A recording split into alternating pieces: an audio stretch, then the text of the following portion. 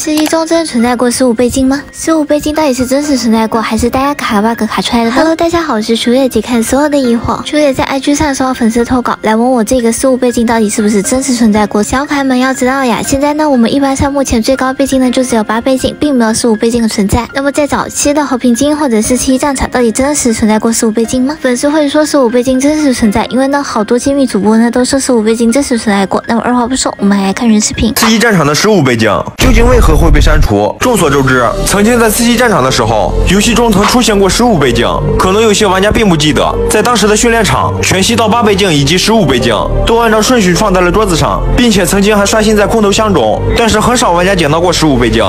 嗯嗯嗯嗯，这一类揭秘主播呢，几乎的视频都说的一样，都说吃五倍镜都被删除，而且呢还说的头头是道。其实呢根本不是这么一回事。其实呢十五倍镜根本没有出现过和平精英的手游里，或者是世纪战场手游里。那么为什么各大主播呢都说十五倍镜真实存在过，然后呢还被删除了呢？其实呢它是有一个梗的，因为呢在早期的世纪战场中呢，可以通过卡 bug 呢，可以把原来最大的八倍镜呢卡出更大的倍镜，远远超出八倍镜的功能，所以呢大家都说是十五倍镜。初雪再生那也是找到视频。了二话不说，我们来看原视频。由于侧面瞄准镜的上线，使得传说中的十五倍镜重现江湖。首先，拿两个可以装八倍镜或者六倍镜的枪。一号枪我用的是 M 二四，把二号枪九八 K 的倍镜拿掉，一定要把倍镜拿掉。然后 M 二四开镜之后调倍距，将八倍调成四倍或者六倍调成三倍，来回多调几次。之后关镜，点击侧面瞄准镜，切换到另一把枪就成功了。成功之后的标准，你会发现手上的枪变成了这个样子，外形短了一截。然后装上八倍镜，会发现特别的清晰，完全就是十六倍镜。